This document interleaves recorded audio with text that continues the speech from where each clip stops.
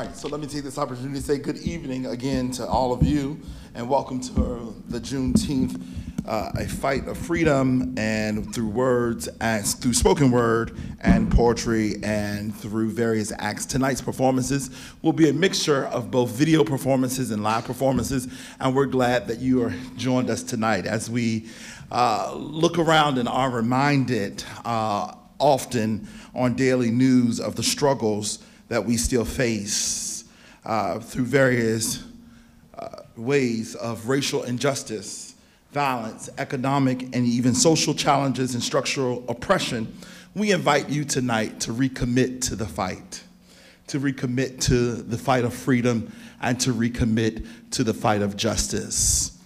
It's a promise that this country has never lived up to, but one that we can no longer walk away from. And so I invite you again to recommit to the fight. And if not you, then who? And if not now, then when? If you're ready to get started, say a Ashe. All right. Sojourner Truth was one of the most famous of the 19th century's black woman orators. Born into slavery in New York and freed in 1827 under the state's quadruple quadruple, excuse me, emancipation law, she de dedicated her life to abolition and the struggle for equal rights for women and men. Scholars agree that Ain't I a Woman was given at the Women's Rights Convention in Akron, Ohio on May 29, 1851. There is much debate about what truth said and how she said it. The most quoted version in the Salem, Ohio anti-slavery uh, published is rendering of true speech on June 21st, 1851, within a month of her presentation. So many historians believe it to be the more accurate account. Since no written transcript of the speech has appeared, the exact words truth actually spoke will probably never be known. Ain't I a Woman, Sojourner Truth, 1851, presented by Marie St. Clair.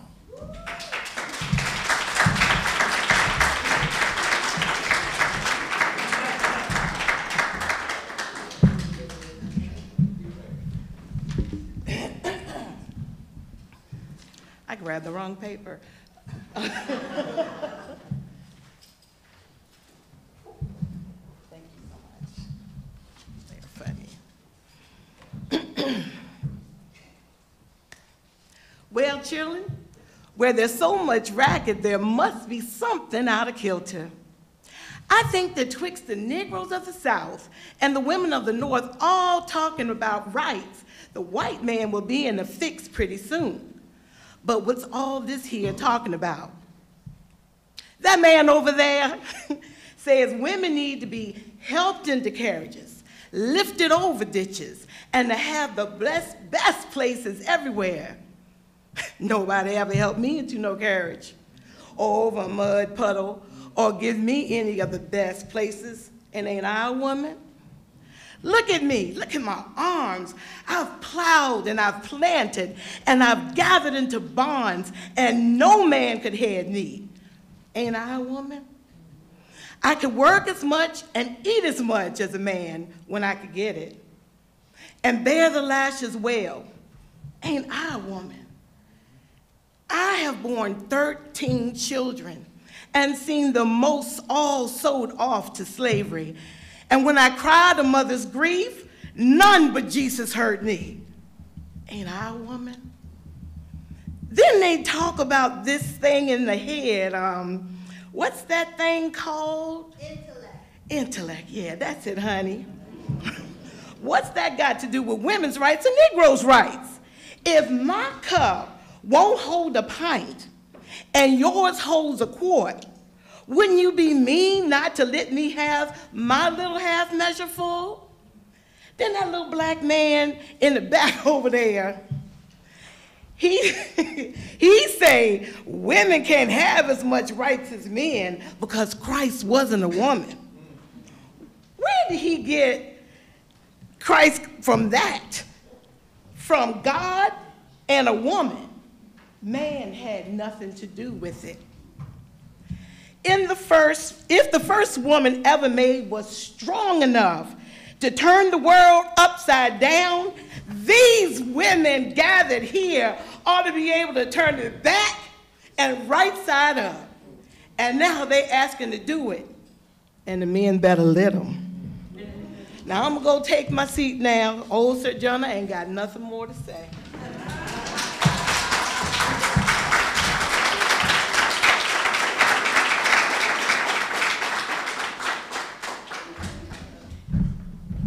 Yes, all of your claps, applauses, and snaps are free tonight, so don't be afraid to give them away. Let's give Sister Marie St. Clair another hand.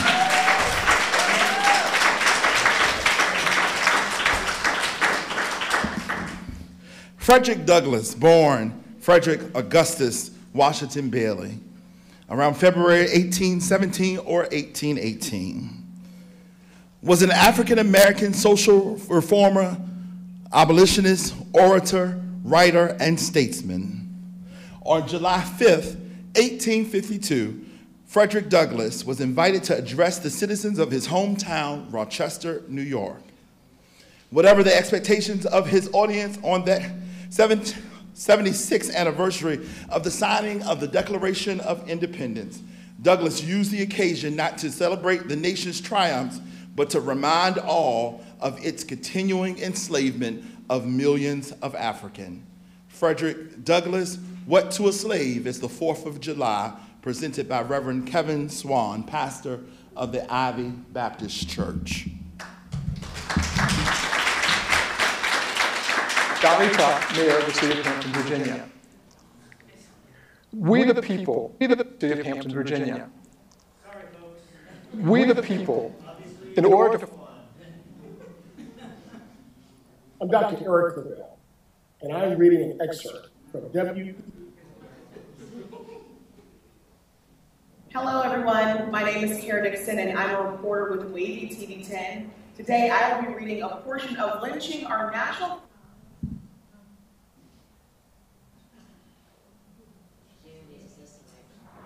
Hello, I'm Kevin Swan, pastor of Ivy Baptist Church in Newport News, Virginia.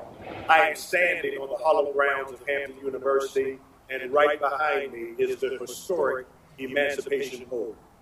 Today, I will be sharing with you the hypocrisy of American slavery that was shared by Frederick Douglass on July 4, 1852. There's not a man beneath the canopy of heaven who does not know that slavery is wrong for him. What? Am I to argue that it is wrong to make men brutes, to rob them of their liberty, to work them without wages, to keep them ignorant of their relations to their fellow men, to beat them with sticks, to flay their flesh with the lash, to load their limbs with irons, to hunt them with dogs, to sell them at auction, to sunder their families, to knock out their teeth, to burn their flesh, to starve them into obedience and submission to their masters? Must I argue that a system marked with blood and stained with pollution is wrong? No, I would not.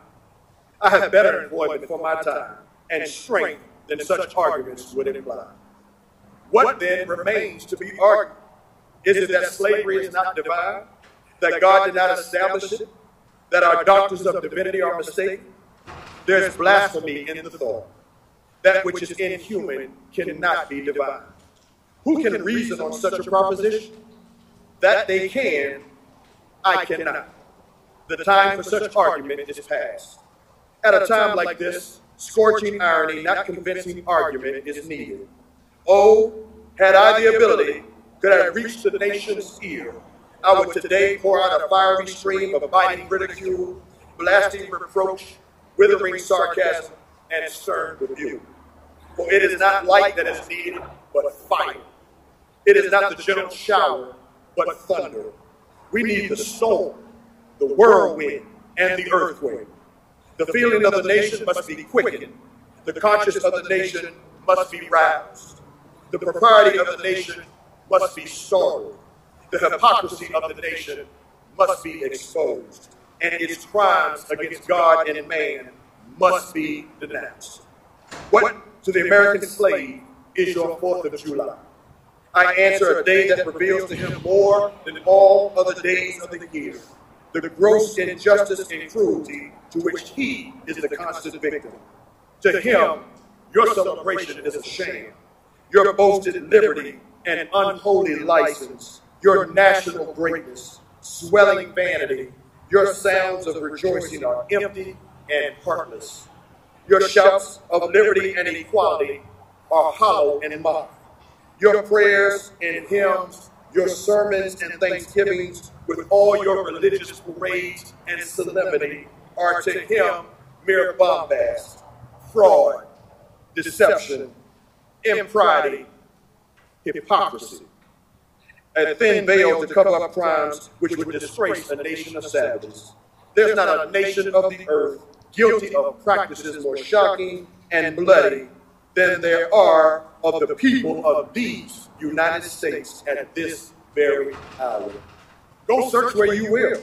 Roam through all the monarchies and deposits of the old world. Travel through South America. Search out every abuse. And when you have found the last, lay your facts by the side and everyday practices of this nation, and you will say with me that for revolting barbarity and shameless hypocrisy, America is without a rival.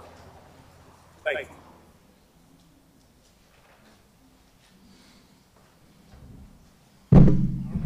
In his absence, we can give Reverend Swan another hand as well.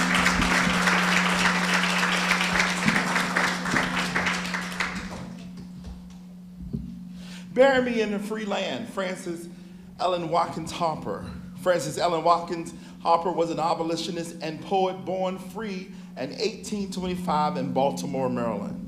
She was the first African American woman to publish a short story, but she was also an influential abolitionist, suffragist, and reformer that confounded the National Association of Colored Women's Clubs.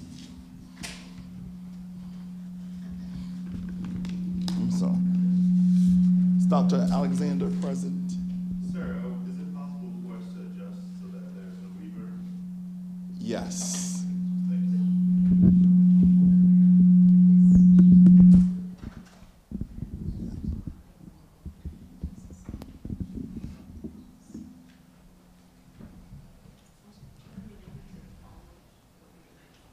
I don't. All right, is that better? All right, can you hear me good? All right. Thank you so very much. Dr. Cassandra Newby Alexander will also be by video with us in this performance.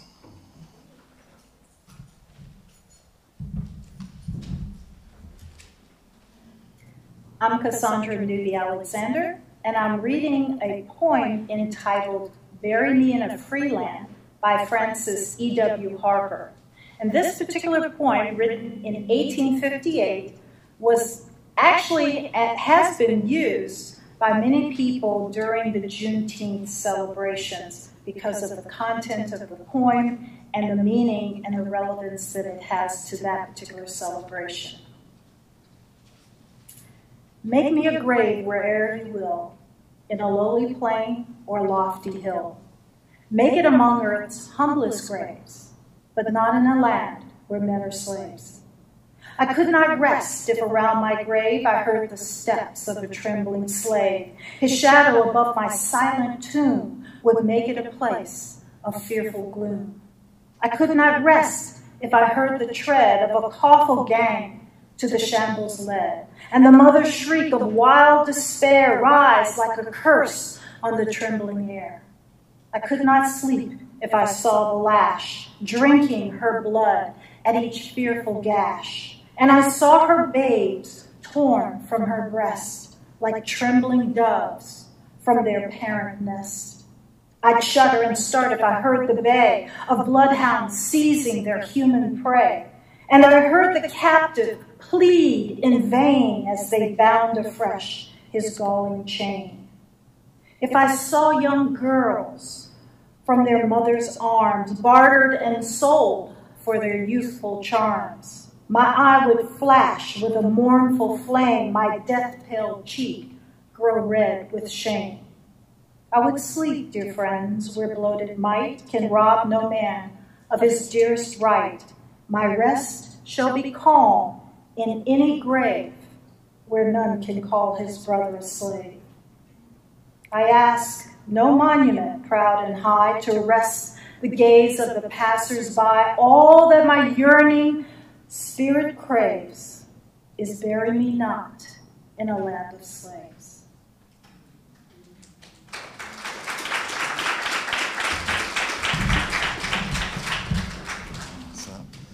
And before I be a slave, I'll be buried in my grave and go home to my Lord and be free. The next video you will see features the Honorable Will Moffett and was recorded a year ago as Mr. Moffett stood on this very stage to present it himself. Will Moffett has now transitioned. However, we honor him and honor how much he loved the city of Hampton and served the city of Hampton, starting as a young activist, later serving on city council, where he fought tirelessly for the citizens of Hampton, Virginia, and the greater Hampton Roads area.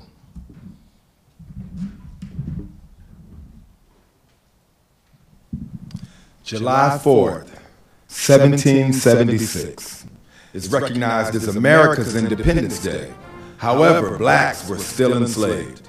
Although President Lincoln issued the Emancipation Proclamation in 1863, which freed enslaved people in the United States currently engaged in rebellion against the Union, many blacks consider June 19, 1865 as our Freedom Day.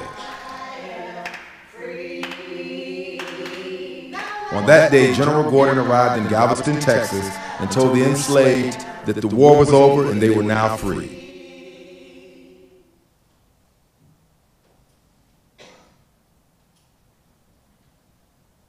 The reading of an excerpt from the Emancipation Proclamation by the Honorable Mr. Will Moffett. And it goes thus that on the first day of January in the year of our Lord, 1863, all persons held as slaves within any state or designated part of a state, the people whereof shall then be in rebellion against the United States, shall be then thenceforward and forever free. And the executive government of the United States, including the military and naval authority, therefore thereof will recognize and maintain the freedom of such persons, and will do no, no act or acts to repress such persons or any of them in any efforts they may make for their actual freedom.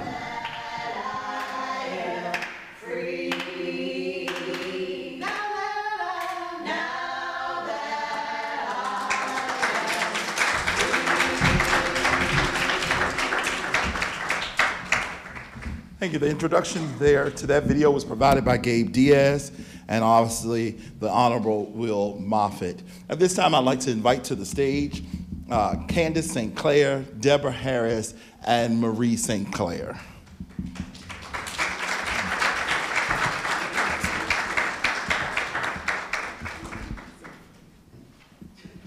On June 19, 1865, enslaved people in Galveston, Texas learned of their freedom two and a half years after the Emancipation Proclamation. On June 19, 1865, General Gordon Granger read General Order 3, which proclaimed all enslaved people were free. The poems, Now Believe This Freedom Come My Way, and the song, Now That I Am Free, were written from the perspective of these newly freed people. Candace St. Clair, Deborah Harris, and Marie St. Clair.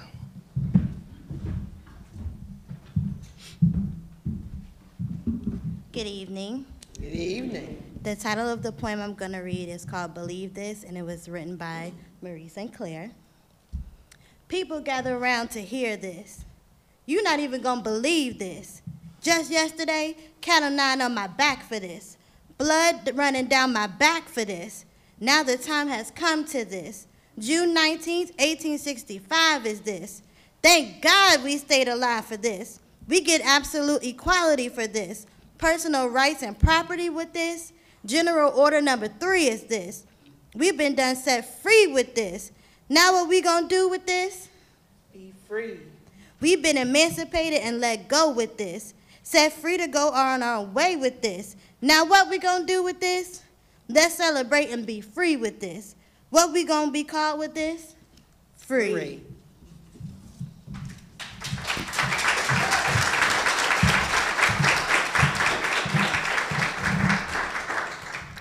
Which road should I take? What path will I make? Now that I am free, way should I go? My Lord only knows. Now that I am free, now that I'm free, now that I'm free, now that I am free, with Christ as my God and love by my side. Now that been set free, and before I be a slave, I'd rather be dead in my grave.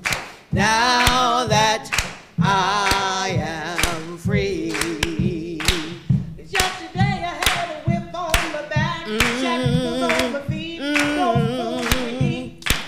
Now that I am free, before I be a slave, I'd rather be dead in my grave. Now that I am free. Cause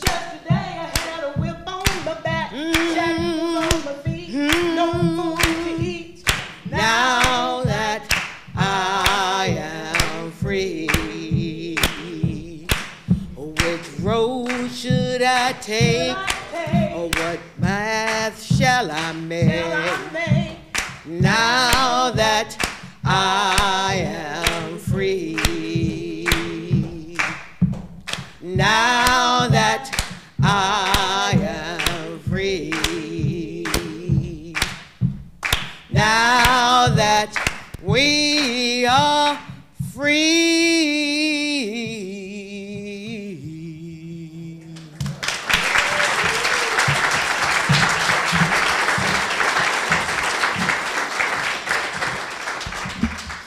The next poem I'm going to be doing is called Freedoms Come My Way, also by Marie St. Freedoms come my way. No more of the frustrations, working on Master's plantation. Freedoms come to stay. I slaved in his fields, now I work by my own will. Freedoms come today. They promised to give us 40 acres and a mule. I'm gonna even build me my own school. Freedoms come my way. I ain't even gotta wear shoes on my land. Each grain of dirt I wanna hold in my hands. Freedoms come to stay. The way I figure, I hope I can count on what he said. He's a soldier, an honorable man, not some ignorant overseer working on somebody else's land. Owning land is the meaning of power. Now is the time, the place, and the hour. Freedom done wrapped itself all around me, running all through my body, breaking the chains that bound me. I never could dream of what happened today. Freedom, yes, freedom, done come my way.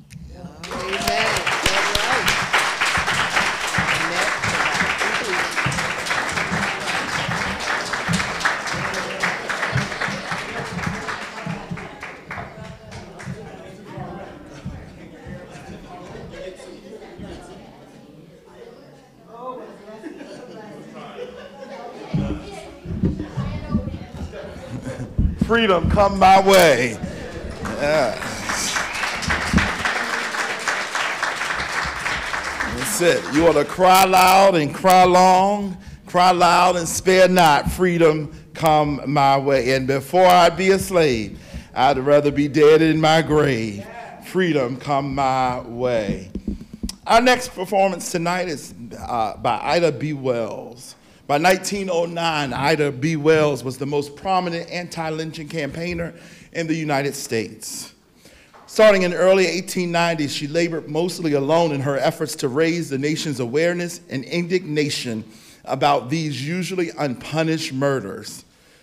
Wells delivered the following speech at the National Negro Conference, forerunner to the NAACP, which was held in New York City from May 31st through June 1 of 1909. Kara Dixon joins us by way of video with Lynching Our National Crime, Ida B. Wells' 1909 speech. Hello, everyone. My name is Kara Dixon, and I'm a reporter with WAVY TV 10. Today, I will be reading a portion of Lynching Our National Crime by journalist and activist Ida B. Wells. Proof that lynching follows the color line is to be found in the statistics which have been kept for the past 25 years. During the few years preceding this period, and while frontier law existed, the execution showed a majority of white victims. Later, however, as law courts and authorized judiciary extended into the far west, lynch law rapidly abated, and its white victims became few and far between. Just as the lynch law regime came to a close in the West, a new mob movement started in the South. This was wholly political, its purpose being to suppress the colored vote by intimidation and murder. Thousands of assassins banded together under the Ku Klux Klan's Midnight Riders, Knights of the Golden Circle, etc., etc., and spread a reign of terror by beating, shooting, and killing colored people in a few years. The purpose was accomplished, and the black vote was suppressed.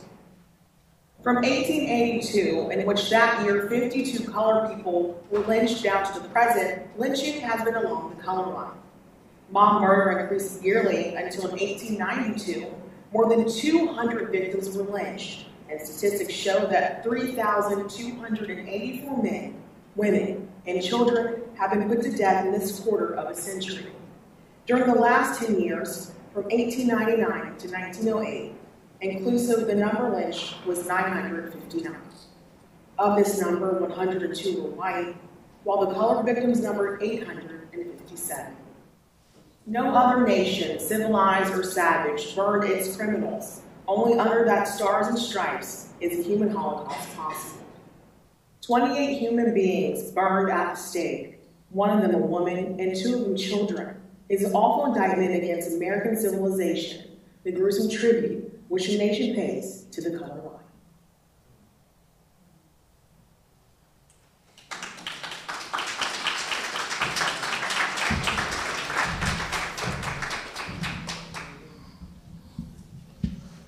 The Niagara Movement was a civil rights group created by W.E. Du Bois and William Monroe Trotter in 1905 after being denied entrance into the hotels in Buffalo, New York.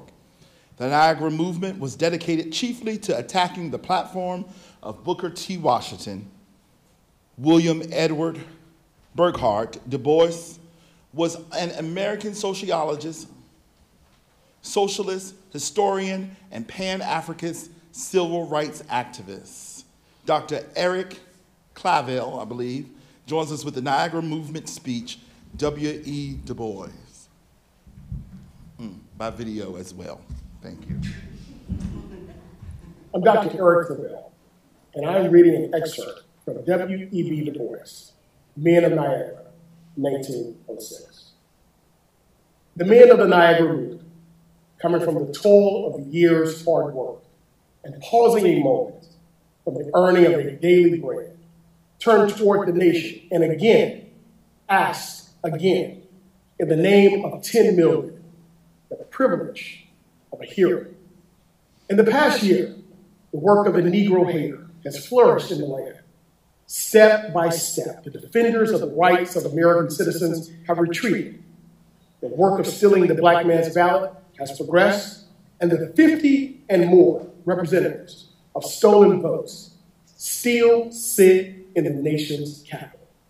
Discrimination in travel and public accommodation has so spread that some of our weaker brethren are actually afraid to thunder against color discrimination as such and are simply whispering for ordinary decencies.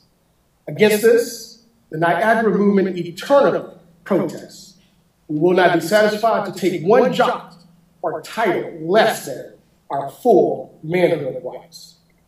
We claim for ourselves every single right that belongs to a freedom, freeborn American, political, civil, and social. And until we get these rights, we will never cease to protest and assail the ears of America. The battle we wage is not ourselves alone, but for all true Americans. It is a fight for ideals, lest this, our common fatherland, false to its founding, become in truth the land of the thief and the home of the slave, a byword and a hissing among the nations for its sounding pretensions and pitiful accomplishments. Never before in modern age has a great and civilized folk threatened to adopt so cowardly a creed in the treatment of his fellow citizens born and bred on his soil, stripped of his verbiage and subterfuge and its naked nastiness. The new America Creed says, fear to let the black man even try to rise, lest they become equals of the whites. And this is the land that professes to follow Jesus Christ. The blasphemy of such a course is only matched by its cowardice.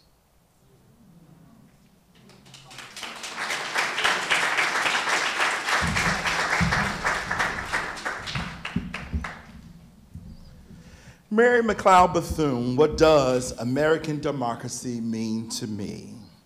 Mary Jane McLeod Bethune was an American educator, philanthropist, humanitarian, womanist, and civil rights activist. Bethune founded the National Council of Negro Women in 1935. The speech presented today, Bethune reminded her listeners that African Americans had always been willing to die for American democracy but were still shut out from its promise of freedom. Delivered by Superintendent Dance, what, does American democracy mean to me, 1939? This will also be a video presentation.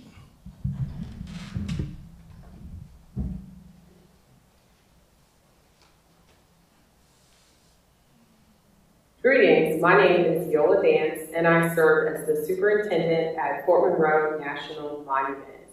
I join you as we discuss triumph and tragedy in the African American experience on the road to Juneteenth. Today, I will share with you an excerpt from Mary McLeod Bethune's What Does American Democracy Mean to Me?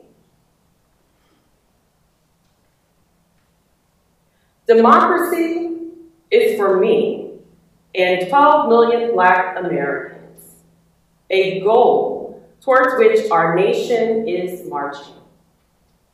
It is a dream and an ideal in whose ultimate realization we have a deep and abiding faith. For me, it is based on Christianity, in which we confidently entrust our destiny as a people. Under God's guidance in this great democracy, we are rising out of the darkness of slavery into the light of freedom. Here, my race has been afforded the opportunity to advance from a people of 80% illiterate to a people of 80% literate, from abject poverty to the ownership and operation of a million farms and 750 homes, from total disenfranchisement to participation in government, from the status as chattel to recognized contributors to the American culture. As we have been extended a measure of democracy, we have brought to the nation rich gifts. We have helped to build America with our labor, strengthened it with our faith, and enriched it with our song.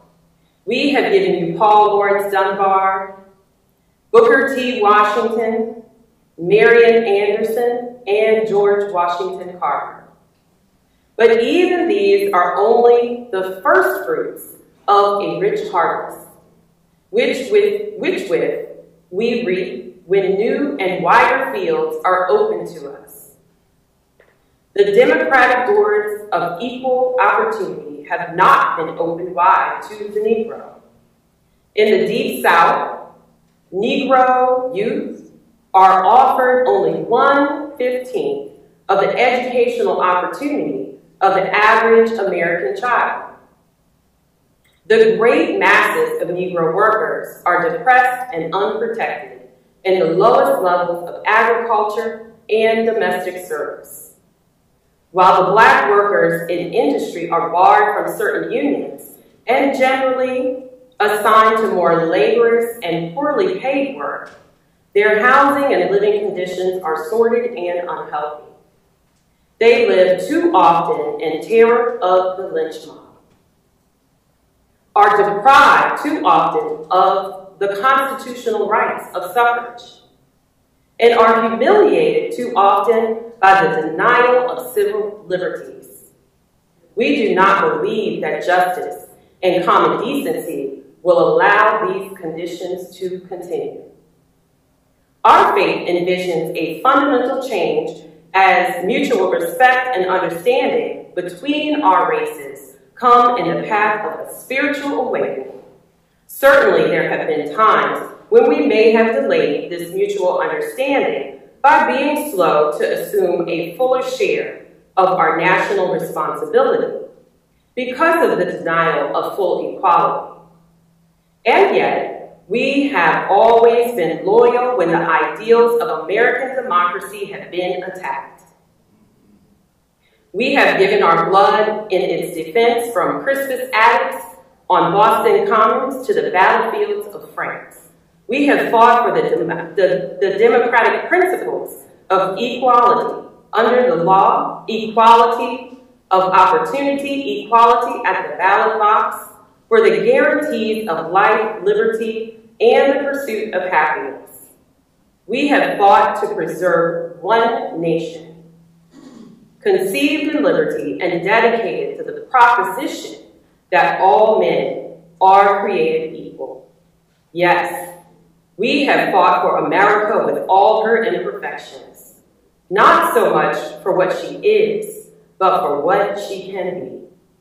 Perhaps the best or the greatest battle is before us, the fight for a new America, fearless, free, united, morally rearmed, in which 12 million Negroes, shoulder to shoulder with their fellow Americans, will strive that the nation under God will have a new birth of freedom, and that the government of the people, for the people, and by the people, shall not perish from the earth. This dream, this idea, this aspiration this is what American democracy means to me.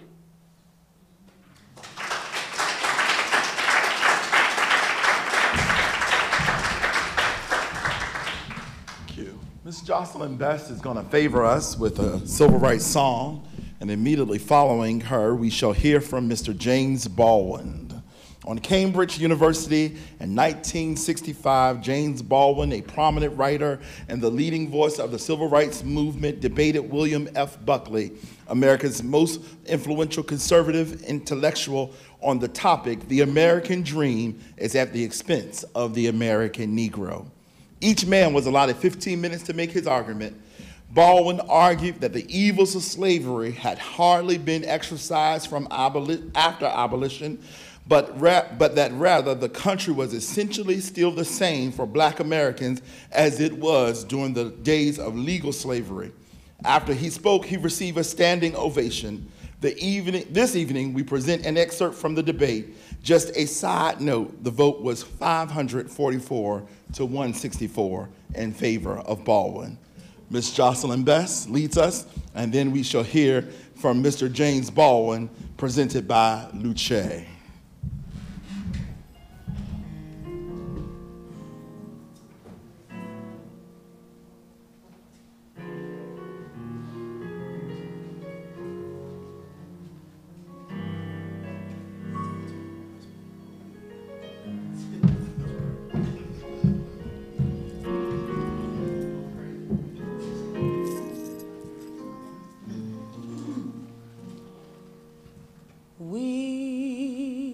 shall overcome.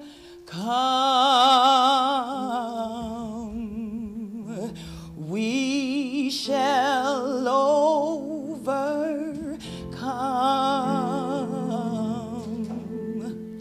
We shall overcome.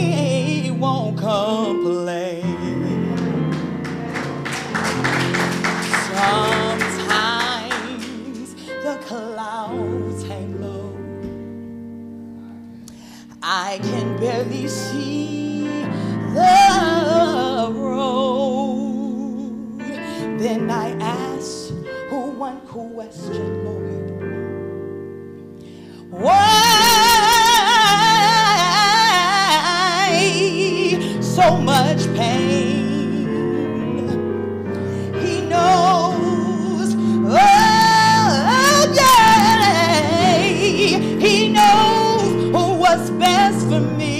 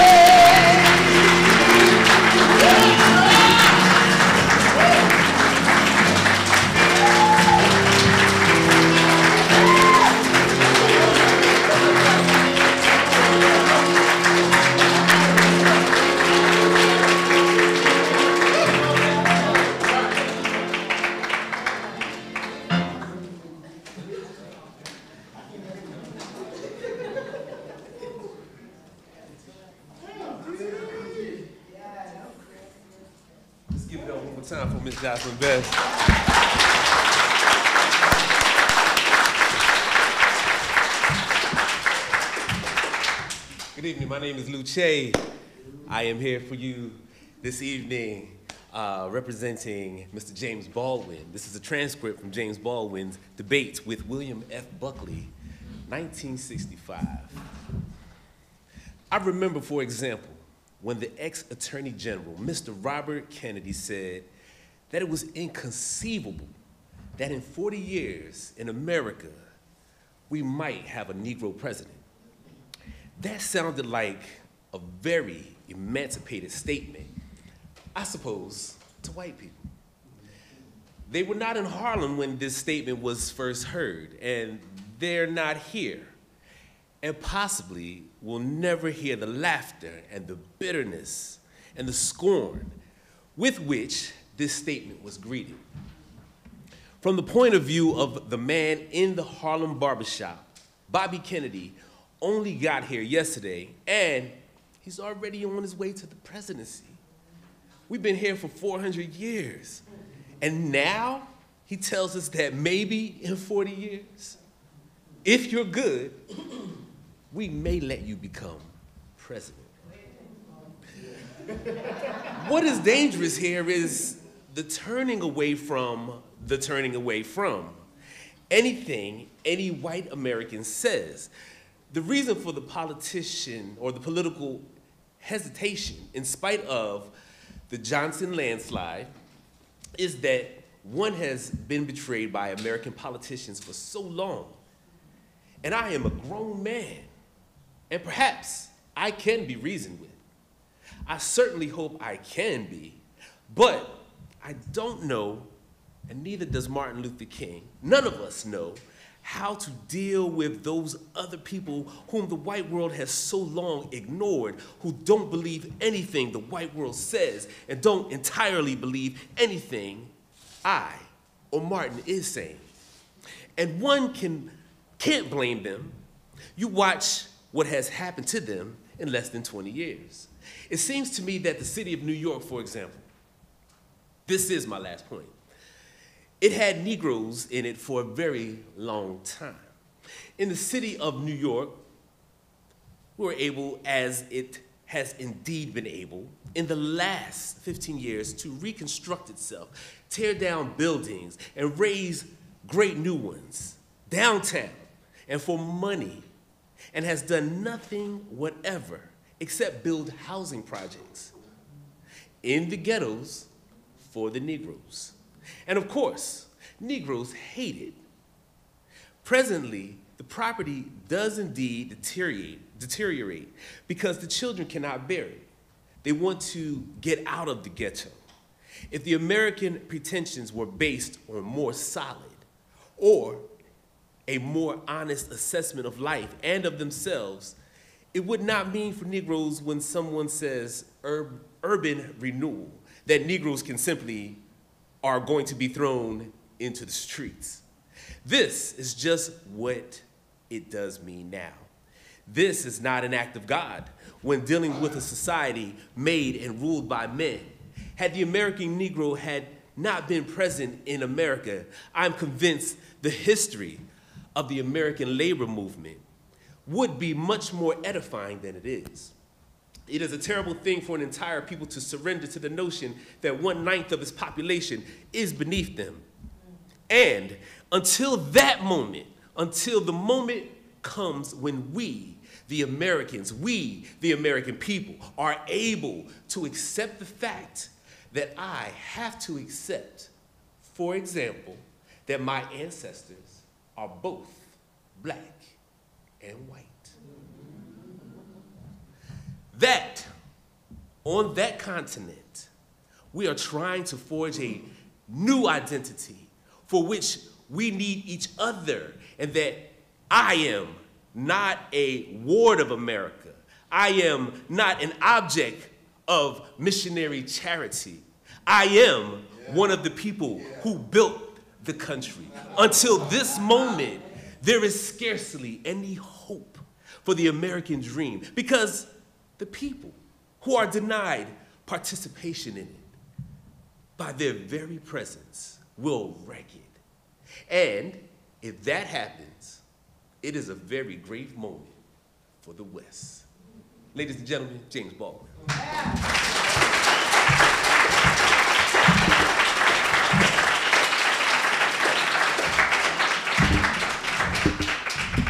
Oh, come on, keep clapping your hands. Mr. James Baldwin, Maluche. I, I knew better to get up here after Jocelyn tried to wreck us like that. But deep down in my heart, I do believe that we shall overcome someday. Oh, you, you were too silent right there. I'll say it again. Deep down in my heart, I do believe that we shall, ah, we shall overcome someday. Hallelujah. Yes, Lord. See, I told y'all y'all were going to get me in trouble tonight. I, I, didn't mean for that to slip out, but I do believe that we shall overcome. The same, while we're here at this moment, we might as well have this moment, right?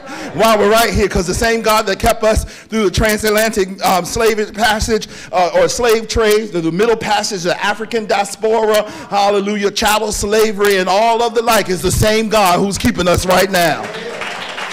Uh, the, the, the, the same God who kept us while we were holes holes in the south and ghettoed in the north. It's the same God who's keeping us right now. And so deep down in my heart, I do believe that we shall overcome. So I'll just cry, thank you, Lord. Hallelujah. Had some hard days, but thank you, Lord. Had some tears to cry, but thank you, Lord. Had some midnight hours, but thank you, Lord we shall overcome someday. I'm sorry, I just had to do that for me. And I know we're recording tonight, but hallelujah. Uh, she, she, did it. Blame Jocelyn. It was her, it was her fault. Hallelujah. Nevertheless, let's get back to our script tonight. Woo! I just, had, I just had to get it out. I just had to get it out. the Honorable Donnie Tuck, Mayor of the City of Hampton, is going to join us by way of video for a more perfect union presented by the President Barack Obama and his 2008 speech. Controversial remarks by the Reverend Jeremiah Wright, pastor of the Trinity United Church of Christ in Chicago, Illinois, where Barack Obama had been a member, emerged as a lingering issue in the 2008 presidential campaign. On March 18, 2008, the then Senator Obama delivered a now famous speech on race at the Constitution Center in Philadelphia, Pennsylvania, called A More Perfect Union by his campaign. Obama's oration, excuse me, was designed to address the pastor's remarks and his relationship with the minister. Just as important, the speech also addressed the role of race throughout the nation's history and during the 2008 presidential campaign. The Montgomery bus boycott, led in part by Dr. Martin Luther King Jr., was the first major event in the civil rights movement of the 1950s and 60s, and the U.S. civil rights leaders such as Medgar Evers, Malcolm X, Reverend Jesse Jackson, and many more became household names. Their fight for freedom changed the landscape for African Americans and brought about great change. Sadly, the fight for freedom still continues. There are many organizations and groups such as the NAACP, Black Lives Matter, uh, and many others. We also have individuals such as James Rucker, and along with CNN's Van Jones of the online activist resource Color of Change, Rucker has helped to create the largest modern civil rights organization in the United States. Color of Change, which has an estimated 7 million members. Reverend Dr. Barber, William Barber is the co-chair of the Poor People's Campaign, a social justice and anti-poverty organization based on the last wave of the last civil rights movement started by Dr. King. There are many other people and organizations that have taken on the fight in the past and in continuing now. Music has also been the voice of change, and regardless of what you think about hip hop, there are artists that picked up the cause and now carry the torch of freedom. We share, we share, and later on after Mayor, we will share an interview where these hip hop giants are fighting the cause today from that 2021 interview. First, we shall hear from the Honorable Mayor Tuck, uh, A More Perfect Union, and then we shall hear excerpts of this hip hop movement and interview from Andre Rashad, uh, Luche, Anthony Beeman, and Candace St. Clair. I believe I got them all in that order. All right? There we go.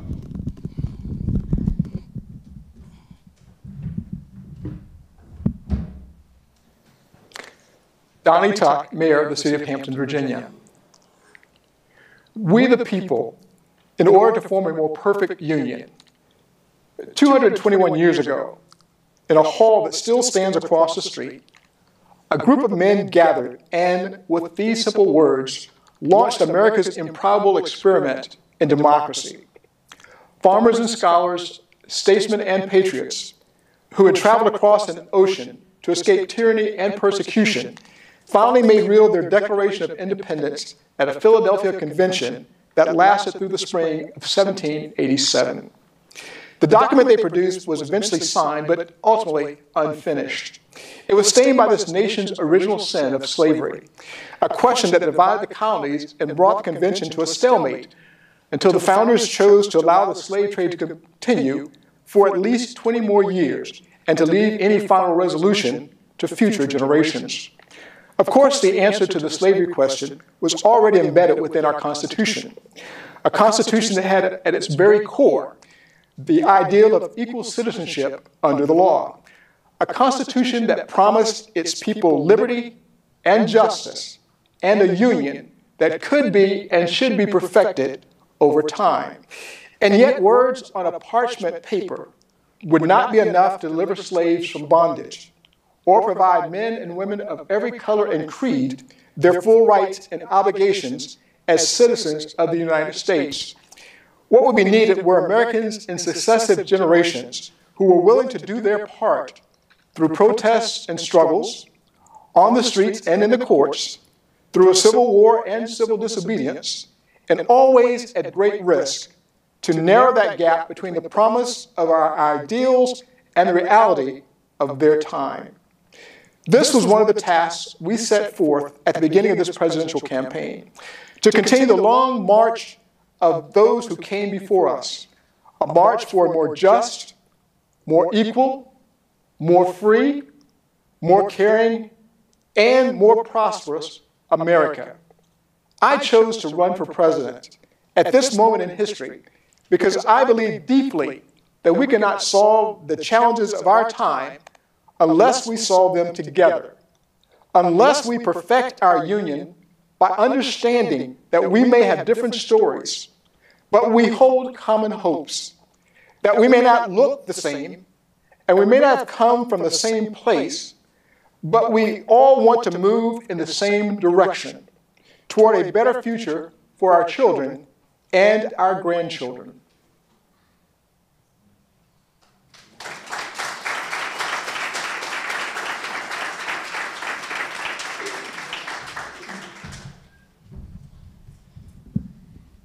Good evening. Uh, my name is Andre Rashad. I'm going to be doing um, a poem that I co-wrote with um, the late great legend himself, Levi. Y'all know him as Matthew St. Clair. Um, yes, sir. It was some ums over here because they heard his poems in person. but um, um, the poem is called The Pain. It's going to outline what our people suffered through.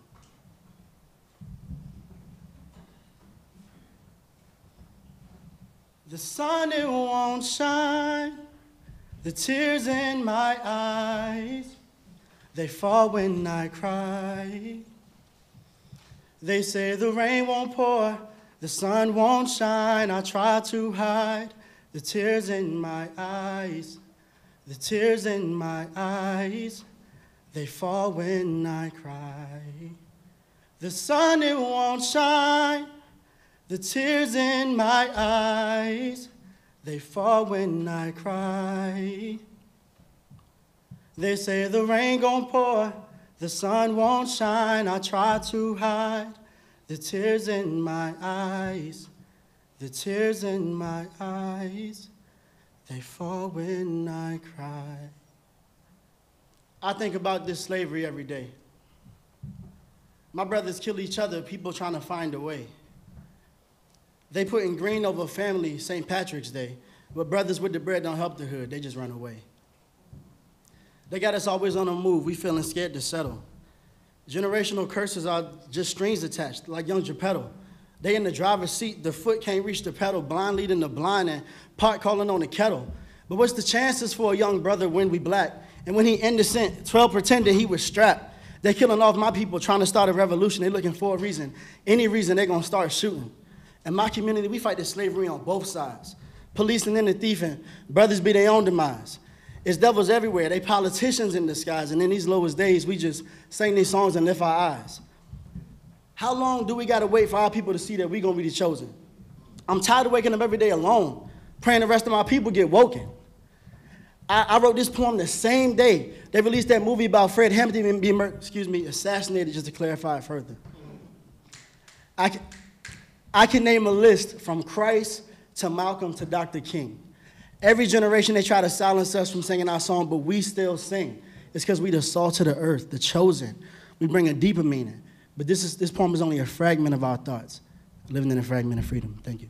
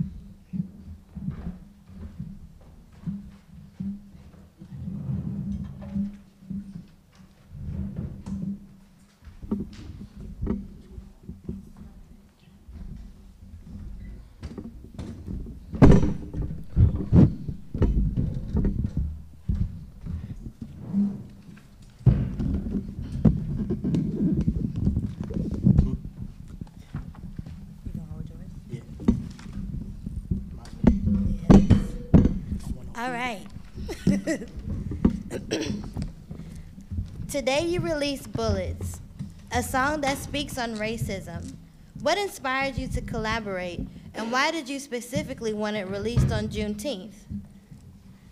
Back on the mic. So um, we the collective, you know what I'm saying? Myself, Chuck D, Public Enemy, Daddy O. I'm officially called Night Train for those who you know about Night Train. Um, we released a song entitled Bullets. And it was a remix, and it was to address racism, you know, police brutality, um, and unfairness in the community. Of course, the song, the song, and the collective was inspired by the ideology, ideology for the Black struggle. You know what I'm saying? Um, others, others march, we rap. That's what we do. You feel me? And you know, the songs be nice too. But, Word. But, but, Word. but others march, we rap, and um, we're releasing it on Juneteenth to just commemorate the awareness of freedom. That's what's up. Daddy-O, You? What made you want to enlist Chuck D in speech for this remix of yours? Word, Daddy O speaking. The reason I I chose Chuck D of Public Enemy and Speech of Arrested Development is because I always felt that the three of us were hip hop prophets. Now, from Stetsasonic's, Freedom of De- Freedom or Death to Arrested Development's, Everyday People, y'all remember? Yes. Yeah. Yes. To Public Enemy's Fight the Power, our messages have clearly been seen. Now, sometimes we the resistance, sometimes we fight the resistance. Either way, we voice what the people feel and what they breathe. You know what I mean? Did I say breathe? Yeah, breathe.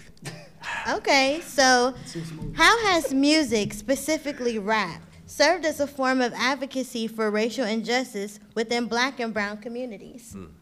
I mean, hip hop itself and rap specifically has always been a form of advocacy in, in the racial, against racial injustice, of course, Mhm. in the black and brown communities. Um, and it's, it's, e- it's simple to see, like being, you can hear it anywhere, like local block parties, clubs, even, even on the radio, you know what I'm Mhm. saying? Certain radio stations, of course, but rap music has always been a voice of our people since the beginning. Speak on it. No, no. Yes, So, how has rap music served as a prediction tool for protests? Sort of like calling out that history has been repeating itself. Hip hop has always been very adamant about telling the stories of our communities, from NWA and Public Enemy Mm. to Kendrick Lamar and Vic Mensa. How have you seen this shift in the music industry since the deaths of Trayvon Martin, Michael Brown, Breonna Taylor, Ahmaud Arbery, George Floyd, and obviously so many more to list? Too many more to list. Shockingly, the shift in the music industry has been awkwardly silent. Word. But that's not to blame on the music industry. That's to blame on us rappers here. No, facts, facts, facts. That's a fact. Do you believe that music artists with large platforms have a responsibility to speak up during these times, especially those who rise to fame has been in the hands of black culture? Of, of course, it's simply the dope thing to do. Ducking from a responsibility is usually a child's excuse. Mm. That's what's up, Chuck. Definitely. Look, I believe artists with high degrees of what is labeled as social currency should speak up. That's us, fam. No, facts. To that effort, I've begun a production called Self Destruction 2 to involve young artists to address the pain. The pain and the pain was earlier. So that's what I'm saying. Like, um, speaking up is important, and it's not just important. Sometimes it's important all the time. It's a lifestyle. Yeah. And um, those with a huge reach should not only speak up, but they should also uplift the grassroots organizations that's actually doing the work out here in the fields. Word. Because now we can make those the influencers, and the influencers are doing the work. Okay, so each of you are known for your activism in the black communities. What sparked your specific interest in being vocal? It's a good question. Thank you. I, I think I can take that one. Um, honestly, uh, I was born in 1960, and the turbulence decade as a child, it was a normal thing adults did. And I had young parents who spoke out, and they always encouraged me, as well as my brothers and sisters, to do the same. I feel you, Daddy O, Daddy O speaking. Chuck, I feel you, baby. I saw our children being misled and influenced by outside entities. Big time. I felt like if I had a voice, I needed to use it to educate the next generation, you know, the little ones like y'all right here. All right, in the 70s, the artists like Stevie Wonder, Marvin Gaye, Yeah. James Brown, Yeah. y'all know who they are? They helped our community to not only cope, but actually offer solutions and suggestions for our pain. Now, I often say today that television has replaced the record player mm-hmm. in the back home or in the black home. Mm. Later, becoming a rapper with Stetsasonic, I provided those answers right through my own music. And I- I'm not as smooth as Daddy O, obviously. but but uh, it's, he, that's a smooth dude right there. Speak on this, He speech. played the keys too. My, see, but my parents was activists. You know what I'm saying? Uh, my mother, she owned the largest black newspaper in Wisconsin. It was called the Milwaukee um, Community Journal. And um, so during my childhood, we not only at the breakfast table discussed these kind of issues, we talked about the possibility of solutions too. Where? So it was putting me as a, since childhood. You know what I'm saying? Mm -hmm. So, what advice do you have for anyone who may not feel like their platform is large enough to be heard? Mm. Where can someone start if they don't know how? That sounds like a Chuck question. That's a good question. Thank you. Thank you. Every person can start with something. But people should start one at a time, even with themselves. The burden of world change shouldn't be on the shoulders of one person's or mine. In fact, how can one person change the world if they can't even change their own mind? That's true. Facts. That's cold. It's a fact. Big We're fact. supposed to snap it that way. Um, I mean, I'm, I'm gonna be real. I personally, I don't know. But spe- speaking about social media, I think the problem with social media is like a data overload. You got these algorithms, you know what I'm saying? You got um, these algorithms, they become gatekeepers and filters. Mm. So it's hard for the truth to get out under those circumstances. And honestly, I, I worry about the truth but being able to spread under these type of scenarios. That's cold. So recently, Republic Records announced that it would remove the word urban Mm. from their verbiage for departments, music genres, and employee titles. What are your thoughts on this motion in the music industry? I got this. All right. So, although the music industry, the music business will be making small changes, like Republic Records recently erasing the name urban from their verbiage, and the head of Reddit stepping down and suggesting that a black person take that position.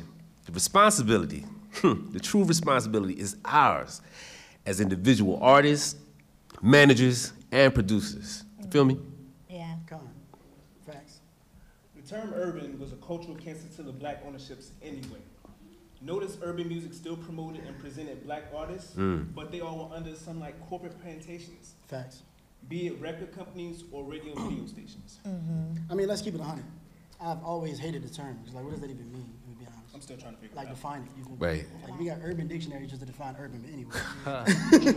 I've always hated the term because it, it dilutes the diversity of the, and the power of black music. Because the reality is this: not all black music is urban. Facts. And not all all urban music comes from black areas. Say so. That is a good. That's a very good point you, made there. I'm just trying to speak facts as I Yes, get I here, you know what I'm saying? understand. Mhm. So, how can music be used as a tool for healing during this era of COVID nineteen, senseless cop killings and protests? You said COVID 19, right? Yes, I did. Although COVID 19 has slowed people down, way down, our ears, our minds, they still work, right? Yes. We just believe that it's time to listen, like now. That's big. Um, and, you know what, music, the snaps, I appreciate that. The, music gives inspiration and direction, you know what I'm saying? It, it helps people with their worldview and, cue points for people striving to understand and make sense of the world we live in, you know what I'm Mm. saying? And um, it, it also happens to be black, one of black people's biggest ex- exports. Yes. So um, if we don't use our music to heal, the reality of the matter is they will use various medium, mediums to destroy us even more. That's what's up. That's very true. If you write speech, if we don't use it to bring us together, they're going to use it to tear us apart. Yes, you're very smart. But um, I always felt like a good curation and teaching of music is necessary in the USA. And the storylines are loaded with historical fact, reflection, and timelines. Teaching people towards the quantity and quality of black music could save you from being stuck in their heads. In fact, all music can teach. The 60s were an amazing platform. In fact, the 60s was huge. Well, there you have it. Thank you, Chuck D, Daddy O, and Speech. You. This was a powerful interview. Yeah. Let's all continue to fight the power. Y'all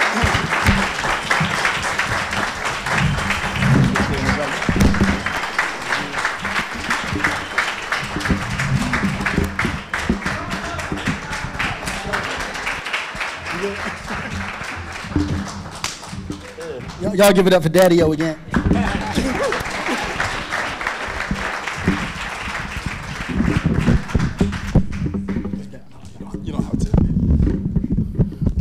That was an excellent presentation, and what a wonderful challenge it is to all of us, um, because we all can do something. And if we don't know what to do, then we should all lift our voice and sing. Amen. We need to sing until both heaven and earth ring with freedoms of liberties. And so I'm going to invite you to stand at this time. Right before our intermission, we're going to sing at least the first stanza of Lift Every Voice and Sing. If you don't know the words, you can use your smartphone tonight. Go ahead and pull it up, Google it while I'm talking. yeah, yeah, yeah. I'm giving you your cue right now while I'm talking. Go ahead and pull it up. Right after this, we will have a seven minute intermission. There's snacks, drinks for sale as well, and be back in your seats. Okay? And seven minutes. Everybody say seven. Seven. Say it one more time. Seven. Seven. We're going to be back in our seats in seven minutes. All right. Who's going to lead us? Oh, I'm not, okay. Lift every voice and sing till earth and heaven ring, ring with the harmonies of birds sing, rejoicing, rise high as the listing skies. Let every sound loud as the rolling sea. Sing a song full of the faith that the dark past has. Sing a song full of the hope that the presence has brought. Facing the rising sun of a new day begun. Let it resound till victory is won.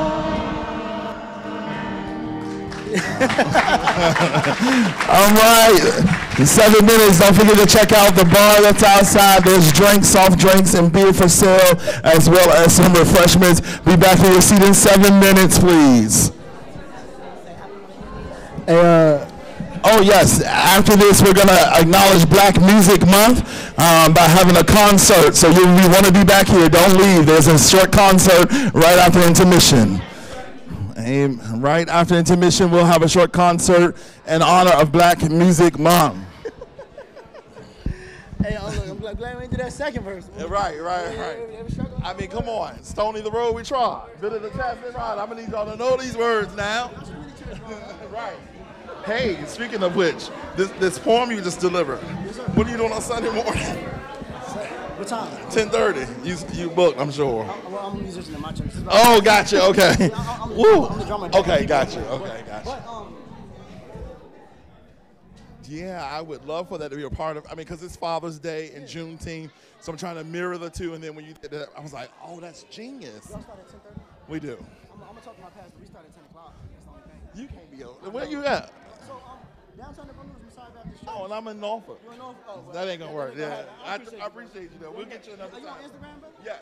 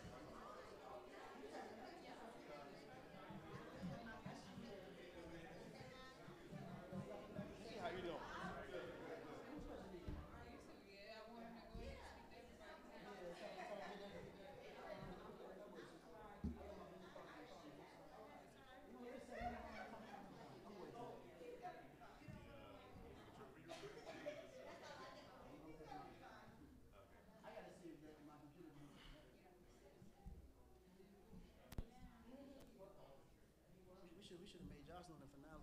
Right, right. Tear the church up. And then we, then we gotta go up there. We gotta go up there and do an interview after. She, I know. Oh, that was dope though. I, I really dig that. Oh really? Yeah, yeah, yeah, yeah. It was, a good, it was a good break, you know what I'm saying? Yeah, it was a nice little break in it.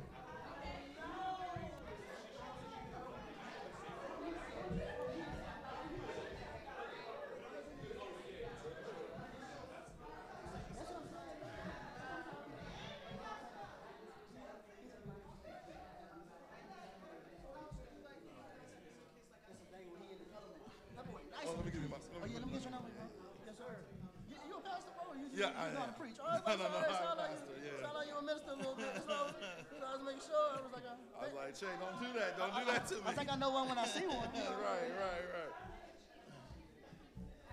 I'm the, I'm, I'm the head of music for my church. So Gotcha. Okay. Yeah, I saw you get on the keys. I said, okay. No, no, no. I You don't like really do keys. Okay, I okay, like him on okay. I'm on the keys whenever the piano playing. Yeah. Gotcha. I'm that good at keys. I'm the first drum. Now, what church you go to again? Tell me the name. So, um, the, um, so it's, it's, it's two churches, but the one I grew up in is called Messiah Baptist Church. That's Oh yes. Okay. it's Yes. Okay. Okay. On Gotcha. Saturdays, I'm up in Pittsburgh with um, Gathering Christ Church. Okay, Yes, okay. sir. Yes, sir. Yeah, that's- I'm gonna text you right now. Okay. I appreciate you. Holding St. Clair down. No, no, no. That's like I said. Gotcha. Okay. Okay.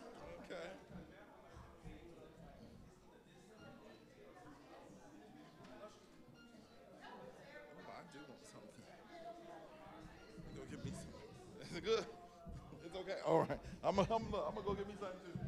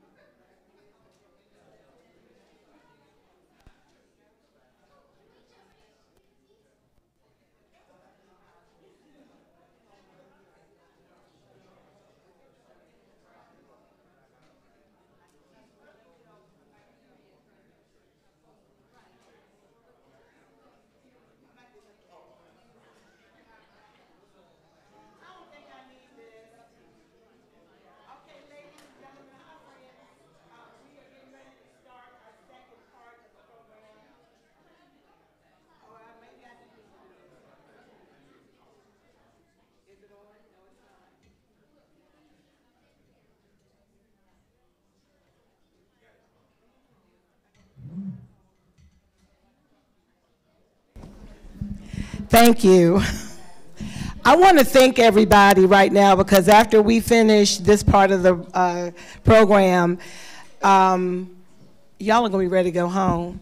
First of all, I want to thank you all so much for coming out on a Monday night and being here.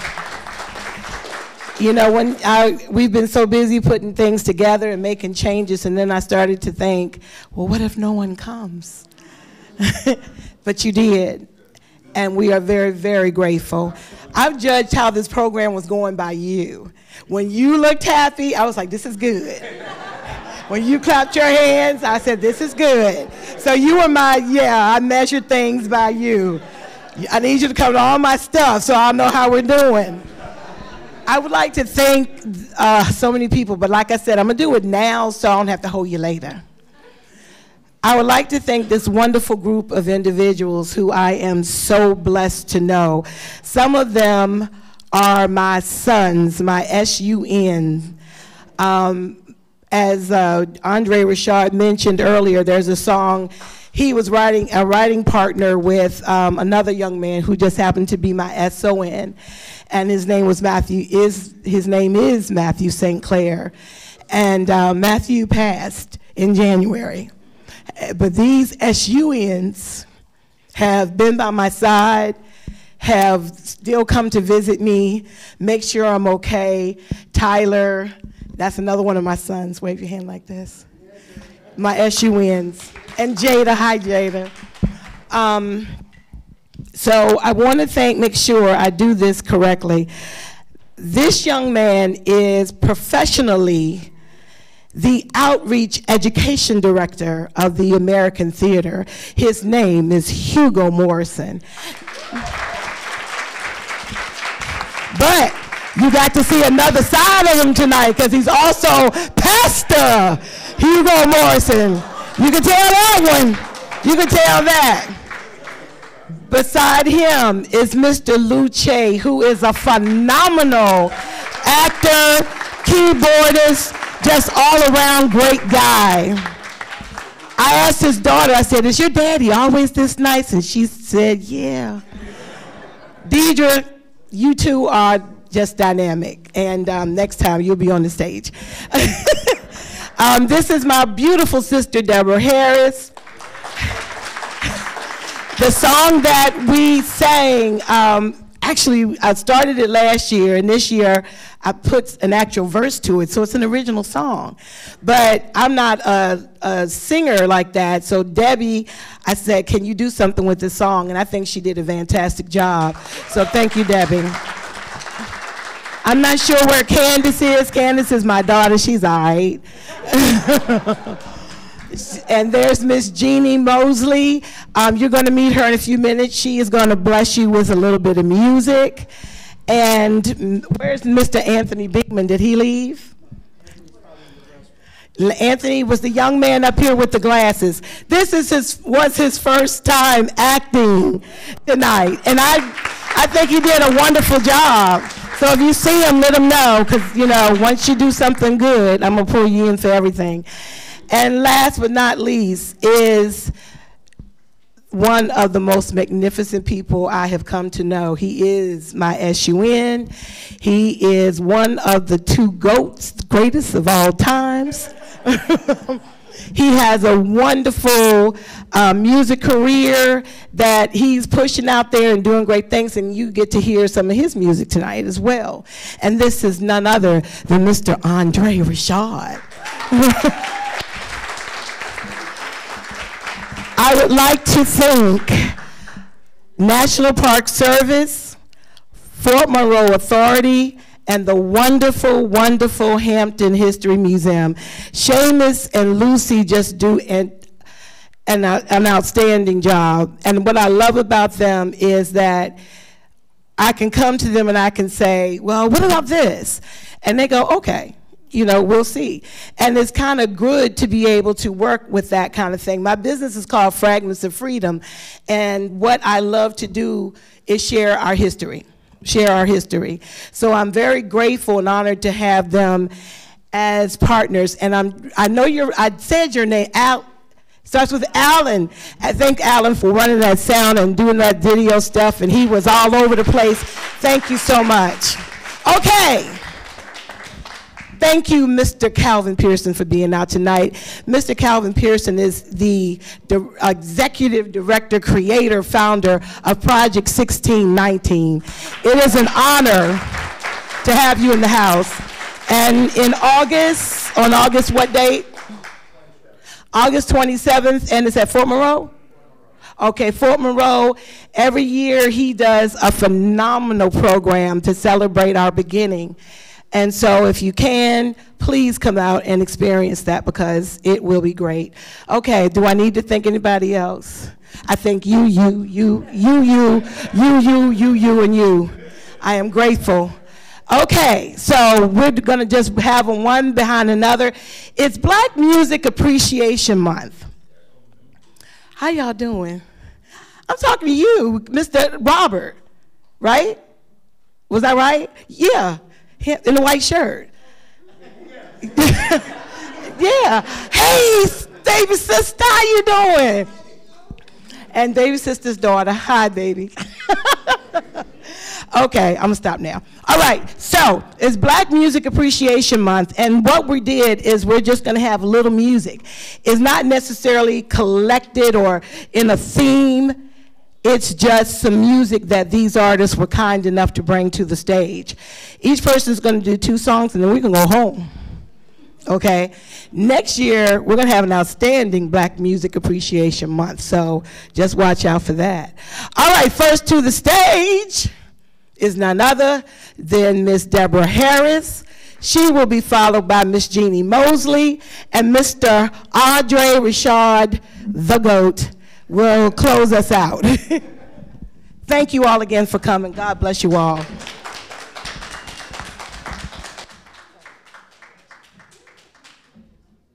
sister took my paper, so I'm gonna have to wing it. I pray that I can. I pray that you pray with me.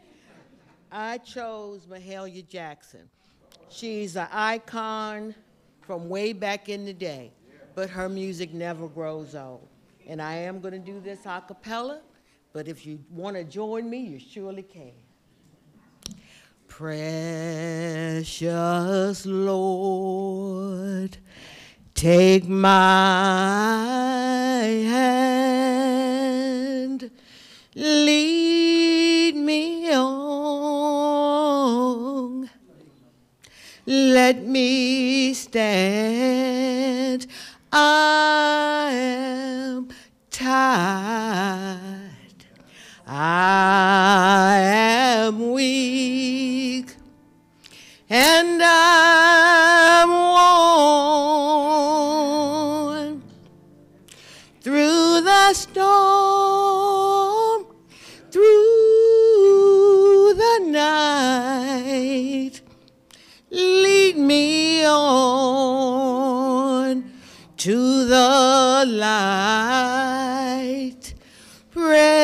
precious Lord.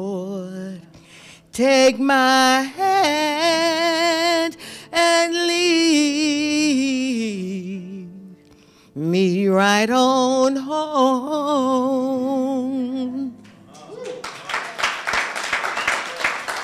Soon I will be done with the trouble of this world. The trouble of this world, the trouble of this world. Soon I will be done with the trouble of this world. Going home to be with my Lord. No more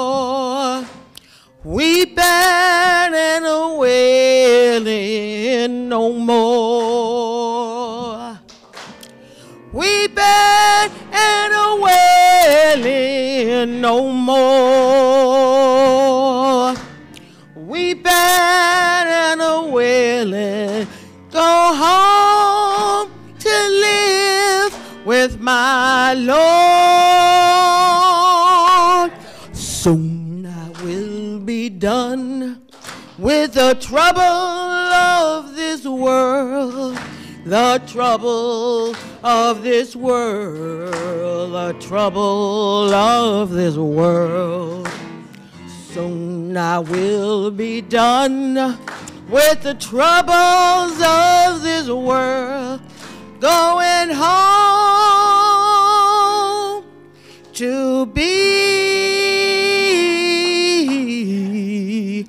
with my Lord.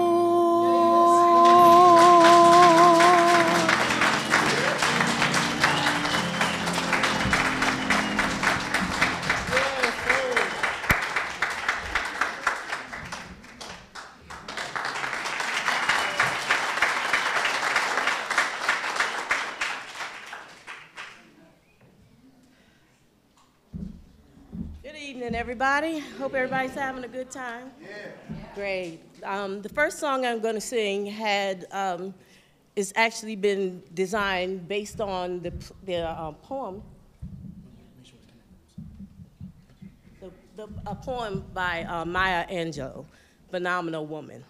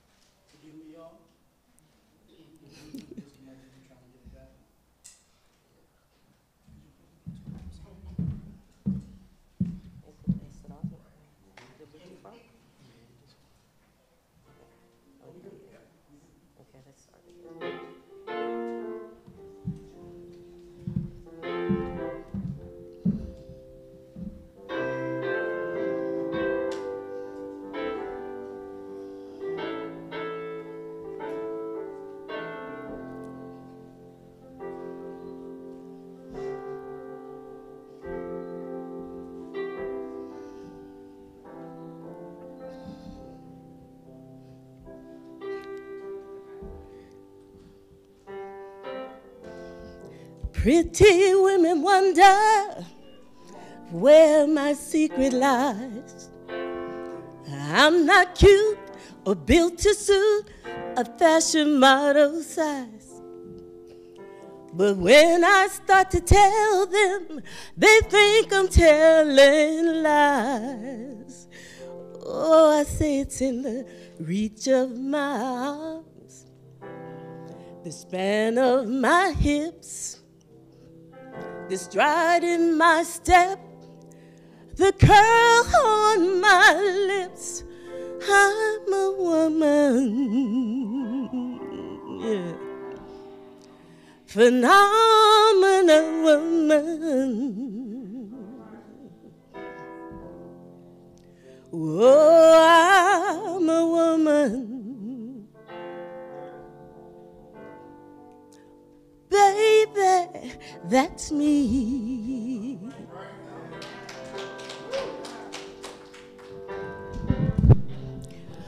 I walk into a room just as cool as you please. And to a man, the fellas stand, then they fall down on their knees. And then they swarm around me like a hive of honeybees. Oh, I say it's in the fire in my eyes, the flash of my teeth, the swing of my waist, and the joy in my feet. I'm, I'm a woman phenomenal woman. Oh, yeah, yeah, yeah. Oh, I'm a woman. Yeah. Oh, baby, that's me. It's in the arch of my back the sun on my smile, the right of my breast, the grace of my star.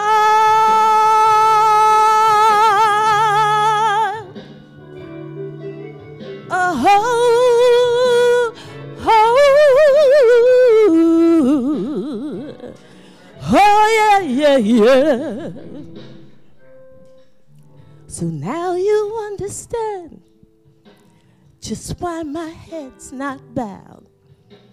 See, I don't shout or jump about or have to talk real loud. But when you see me passing, it ought to make you proud. Oh, I say it's in the click of my heels, the bend of my hair, the palm of my hand, the need for my care.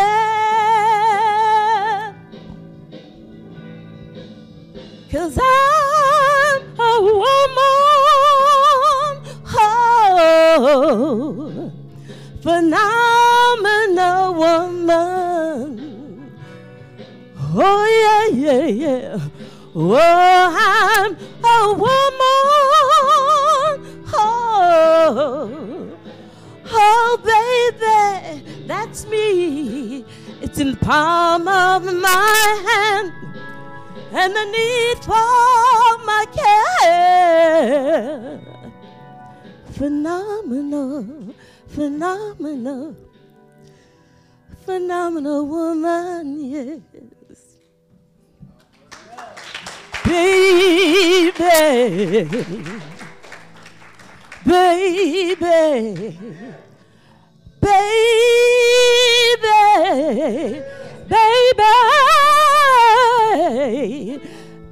baby, that's me. It's me.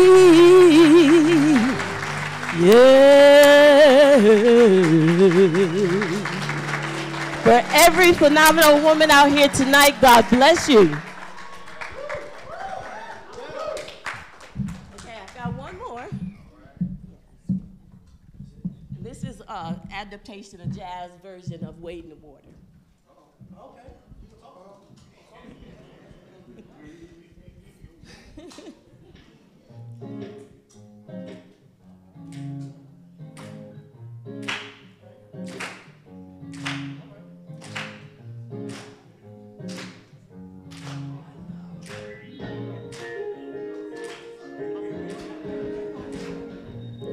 Wade in the water. Wade in the water, children, wade in the water. A God's gonna trouble the water. Who's that young girl dressed in red? Wade in the water. Must be the children that Moses led. Oh, God's gonna trouble the water. Well, Wait in the water. Wait in the water, children, wade in the water. God's gonna trouble the water, yeah.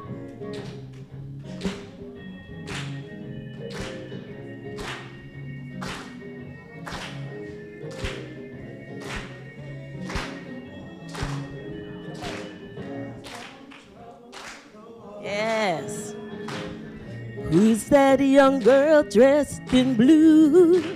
Wade in the water. It must be the children that's coming through. Oh, God's gonna trouble the water. Well, wade in the water. Wade in the water, children.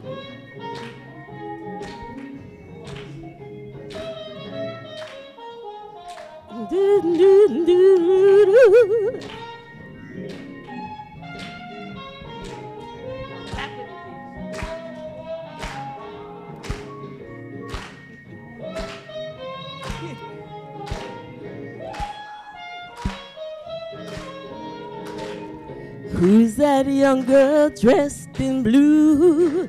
Wade in the water.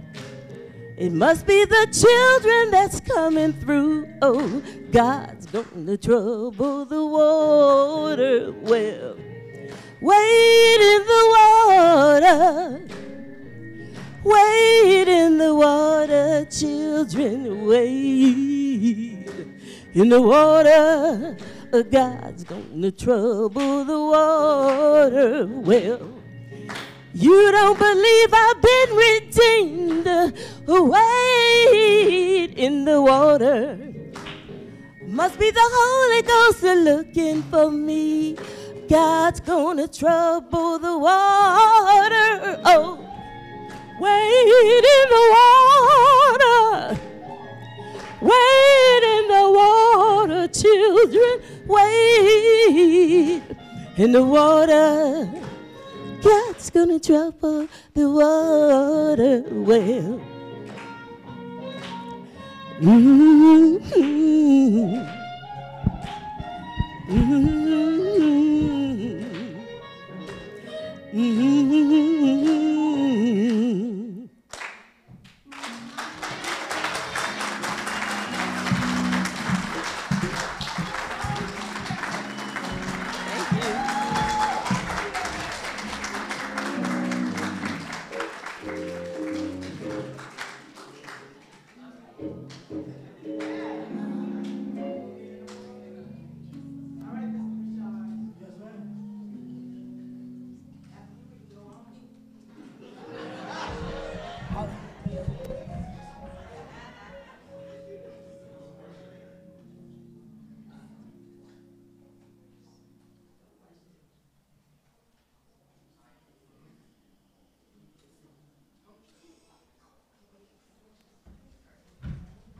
How y'all doing?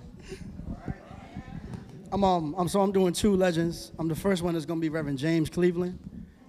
Yeah, yeah. So somebody know who he is. I don't feel no ways tired. But that's that's a that's a that's a group song though, so I can't sing that by myself. And then after that, we're gonna do um Sam Cooke. Check it. There we go.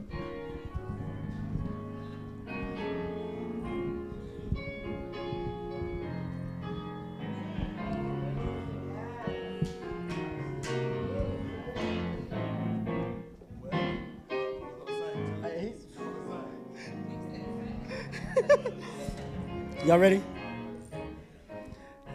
I don't. Y'all thought I was going high. Feel no waste time. Y'all sing with us. I've come too far from where I started from. Nobody told me that the road would be easy, and I don't believe he brought me this far to leave me. There we go. I don't feel no waste tired. I've come too far from where I started from. Nobody told me that the road would be easy. Don't believe he brought me this far. I don't believe. There we go. He brought me this far. I don't believe he brought me this far. I don't believe he brought me. Come on, y'all. I don't believe he brought me this far. I don't believe he brought me this far. I don't believe he brought me. The, I hit a high note. I don't believe he brought me this far. I don't believe he brought me this far to leave me.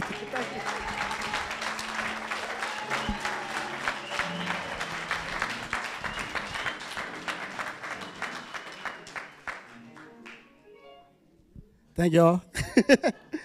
I just want to get the crowd into it. That's all I wanted to do. Now I'm gonna try to actually sing for y'all if, if I can get this to play.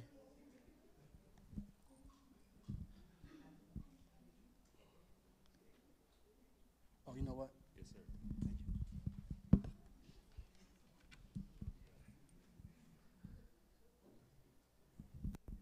Please forgive me, y'all. Give me one moment.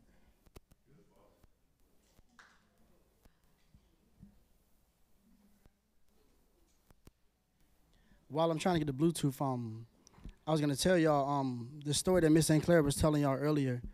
Um, rest in peace to Levi. You know his stage name was Levi. That's, that stood for love, every valuable in, um, instant. And um, Levi was a poet. For those who know him, he he also was my brother, which makes Miss St. Clair like my mother.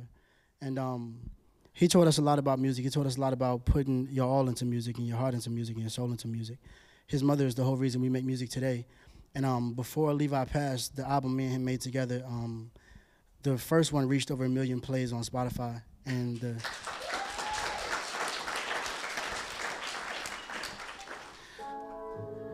there we go.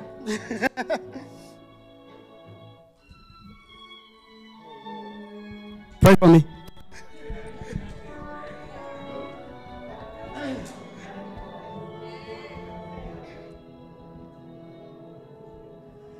I was born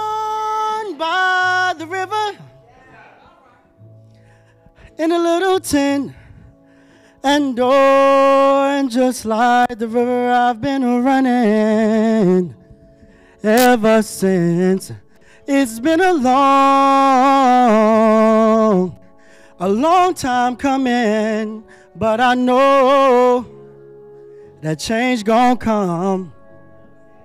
Oh, yes, it will. It's been too hard living. I'm not afraid to die. Cause I know my God is up there beyond the sky. It's been a long, a long time coming, but I know that change gonna come. Oh, yes, it will. If y'all know it, y'all can sing it. I go to the movies and I'll go downtown. Somebody keep telling me don't hang around. It's been a long, a long time coming, but I know that change gonna come. Oh, yes, it will. Then I go to my brother. And I'll say, Brother, help me please.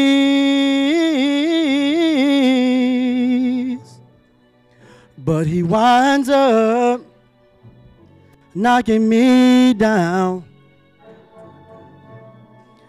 Back down on my knees.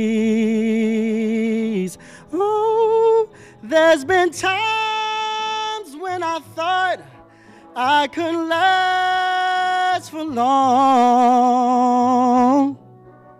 But now I think I'm able to carry on. It's been a long,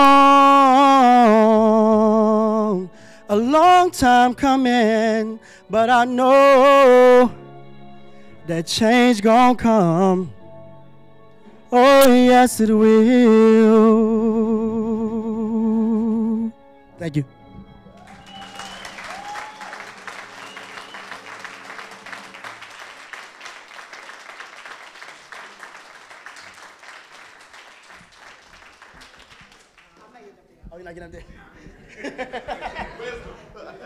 Definitely. Guess what? That's it. Thank you all for coming out. Be safe. Be safe. Be safe. We love you. We appreciate you. Come back next time. Let's hear it from.